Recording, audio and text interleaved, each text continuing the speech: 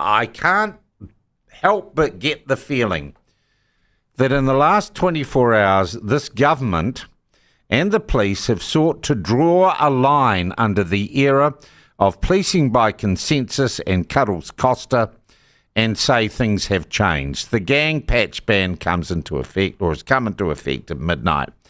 And also yesterday, all remaining charges against Brian Tamaki and his associates for a series of supposed breaches of COVID regulations during a series of demonstrations or protests in the Auckland domain during the time of lockdown were abandoned by police prosecutors. Some of the charges already dismissed by the court, but yesterday the police just walked away from the remaining charges, and Brian Tamaki uh, and Hannah, his wife, walked from the court freed of uh, that imposition. Uh, Brian Tamaki joins us on the line now. Firstly, Brian, congratulations. Thank you, Sean, and good morning. And it's Darnell, a good morning. yeah. Three years this has been going on, right?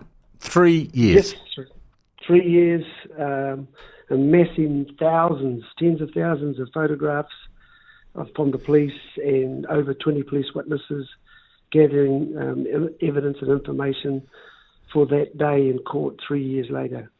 And your contention always was that you actually abided by what the regulations were at the time.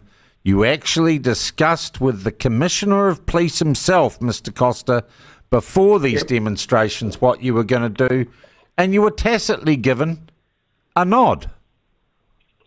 Well, what I did was, Sean, and this is what people, uh, Kiwis probably didn't quite understand.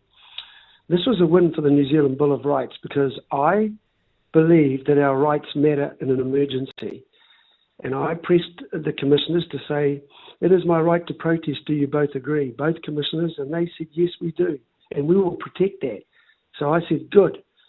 So under level four and Auckland being shut up for five weeks, people are hurting. You're damaging the population. It's my duty to stand. Help me. Now you agree that I can protest. What's the next step? And they said, you have to keep COVID 19 restrictions, otherwise, you'll breach the law. And I said, then give me the COVID restrictions, and we will go out there to our best of our ability to keep them and um, stay within the COVID law. And that's what we did. All right. Um, and then they come for you anyway. Had Ron Mansfield as your lawyer. He's bloody good, but he, I imagine he's not cheap. Brian, how much have you spent in the last three years on this case? I don't. I don't really know the exact case. My wife is the finance minister. It means I can move into the areas I do well. she knows.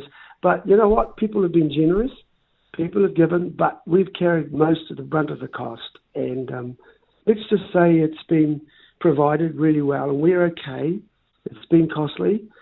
But the point is, this became a political yeah. uh, issue after a while. And that was the big high, this highlighted political prosecution involvement at the highest level from Jacinda Ardern and the Labour government, no doubt about it, because at a certain point the police got to saying to me, you have a right to protest, keep the COVID restrictions, and we'll make it safe. Would have been a matter of two days later that we had a call from a prominent um, Labour minister, cabinet minister, who wanted to have a Zoom with me as well, and with the um, deputy commissioner, police commissioner.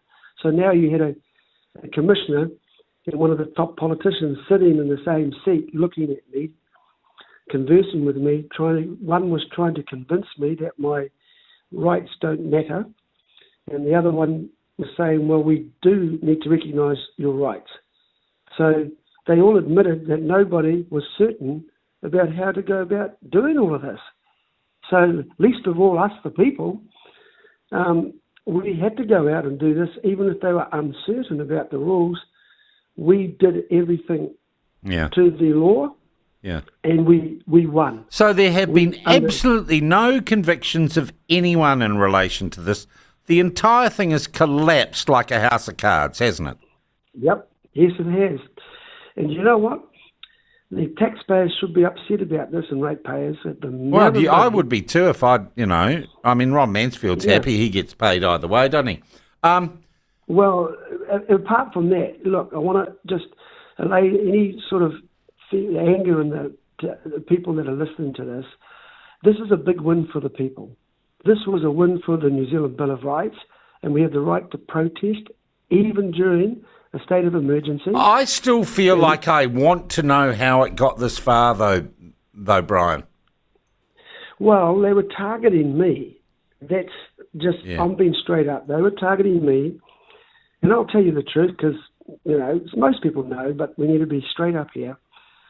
They knew I had the courage to stand up to what I believe was illegal lockdowns, and an illegal mandate to force people to take a medical procedure and lose their jobs.